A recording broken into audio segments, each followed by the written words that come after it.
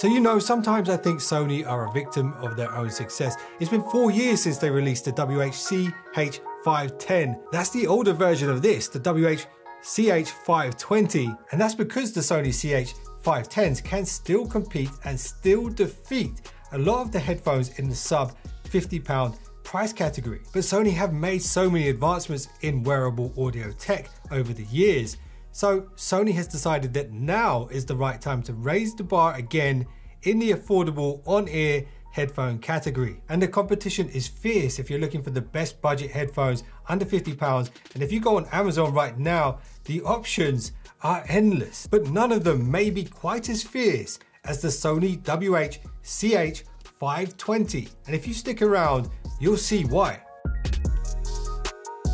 And the color options that are available right now are cream, black, blue, and white. And there's some nice, obvious, but subtle Sony branding on the headband because you know, you gotta let them know it's a Sony. And the materials that Sony have used are largely plastics with a nice matte finish and this makes the CH520s incredibly lightweight at just 144 grams and they look and feel surprisingly premium given the price and Sony has upgraded the padding on the headband and the ear cups making these light and comfortable. So in my opinion, Sony have really nailed two of the important requirements for a good pair of headphones. That's the comfort and weight. Now, something that I really like about the design on the 520s is the fact that when you're not wearing them on your ears, you can wear them around your neck and twist them outwards like this.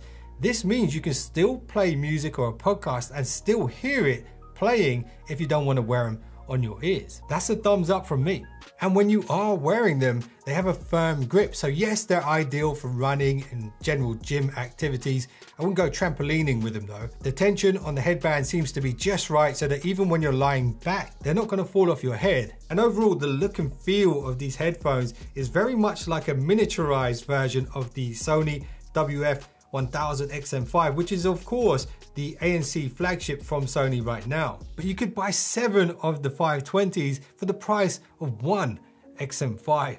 I'm not saying you should do that, but you could. So let's look at the controls quickly. The CH520s have clicky buttons for volume up and volume down. These buttons double up as skip forwards and skip back if you long push and hold them. And there's a raised button in the middle for play pause. And this button also has two additional functions, a quick tap to pick up calls and end calls, and a double tap to wake your device's default AI assistant. And we should consider ourselves lucky that we can still call them that because I think in the future, we're gonna be the assistants.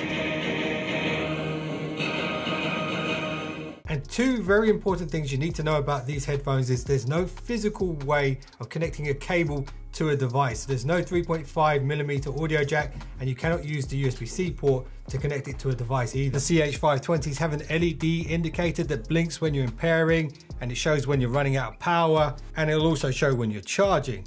And there's also some really nice air vents just behind the hangers which will allow the drivers to move more air and also it might help your ears stay cooler for longer. And there is a single forward facing beam forming mic on the right ear cup. And what's that I hear you say? How good is the voice call quality? Well, I'll let you be the judge of that. Okay, so what you're listening to right now is the mic quality on the 520s. Let me know how it sounds with no background noise. And now let's introduce some noise. Okay, so now we've got some pretty loud background noise in the room. Can you still hear me clearly?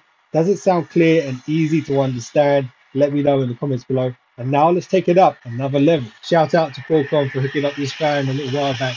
They say the only fan you should need is one like this and not the ones you see in computers. Right, so we've still got the road noise and now we're going to introduce some wind. So this is wind rushing directly at my face head on. That's a low setting. Let's turn it up. That's the next setting up. How's my voice sounding? And this is the back setting. How are the lights or mic holding up in this extreme light intensity? So remember when I said stick around and you'll find out why the CH520s are so fierce in this price category?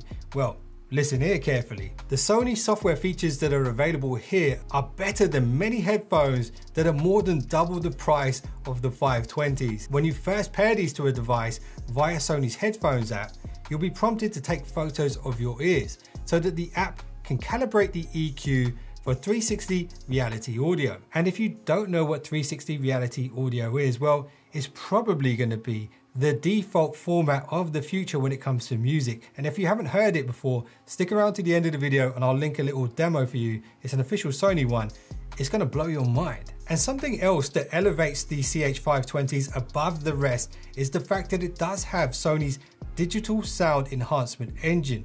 Now what this does is kind of metaphorically like blowing the dust off an old vinyl record. It enhances more compressed audio files to make them sound better. So even old music that was recorded a long time ago when technology isn't as good as it is today will sound better than it does on other headphones. And here's a significant upgrade. And again, this is a feature we only sometimes see on more expensive headphones. It's multi-point pairing thanks to Bluetooth 5.2. So this means you can simultaneously connect the 520s to your phone and your computer if you need to get some work done or if you need to get an important gaming session in and it will switch automatically on the fly if your phone rings. So as you know, speed and power make the world go round and not much can be achieved without it. And someone at Sony made the wise decision to make it so that the CH 520s can run for up to 50 hours. 50? Yes, that's 50 hours at 60% volume. Now, I know what you're thinking 60% volume, how loud is that? Well, I tested these headphones thoroughly and I found out that the maximum volume that I can listen to these at is around 70%. So, listening at 70% would give me around 45 hours, and that is still way more than enough for me. And they do charge with USB-C with just three minutes charge, giving you one and a half hours of power. And if that sounds impressive, that's because it is. And do you know what else is impressive? So due to the compact size of the CH520s, the drivers are also proportionately compact at 30 millimeter. They do produce a 20 hertz to 20 kilohertz frequency response range. The codecs supported are SBC and AAC no LDAC though. Bah! And sound quality is quite subjective, but I have listened to tons of headphones, so I'll give you my best explanation of the flat sound profile on these and then we'll get into how to make them sound better for you personally. So the bass output on these by default is really nice and bouncy and full and I would say it's one of the stronger attributes of these headphones out of the box. When it comes to vocal clarity, male and female vocals are respectable. And if there's one area that needs a little bit of a lift, it would be the mid-range. And here's why these headphones are so great at this price point. It's the fact that you can adjust all of these attributes yourself to suit your specific style of music. So within the Sony headphones app, there are a bunch of really great preset EQs, two of them being my favorite, the Bright and the Excited. Now Bright is ideal for rock, indie and more old styles of music. And then the Excited one is better for hip hop tracks. For example, that new track by AI Drake and AI Weeknd, Heart on My Sleeve. And for those of you that are already subscribed to the channel, you'll know sometimes I like to share my unique thoughts with you guys, and sometimes I share my unique custom made EQs, which I do have for you here for these particular headphones. So try this one out for hip hop and bass heavy tracks. Trust me, it's gonna slap, like AI Drake said in that song. So here's what I think of Sony's WH-CH 520s. Firstly, the name. I wish they could come up with something a bit more catchy and memorable maybe a Japanese word like Ukiyo. I believe that means floating world. I just Googled cool Japanese names and that was one of the first one that I found. And in the price category that these live in, when it comes to on-ear headphones, there is a lot of competition. There's a lot of players and some of them are doing a great job at marketing, but very few of them have the audio expertise and heritage behind them like Sony do. And that's why if you're the type of person who wants to make a good sound investment, the WH CH520s from the one and only Sony won't disappoint. And there's four reasons why I place these firmly ahead of most of the competition Number one is Sony's build quality. Number two is the fact that you get Sony's more than 40 years of audio expertise dialed into the sound signature. And three, of course, is Sony's headphones software, which is unrivaled at this price point. And number four is of course the incredibly powerful battery, which can deliver 50 hours of playback. 50? So I hope you guys have enjoyed this one and here's a final thought for you guys. Man broke the speed of sound back in 1947 and the speed of light is still on the horizon and that's just a matter of time.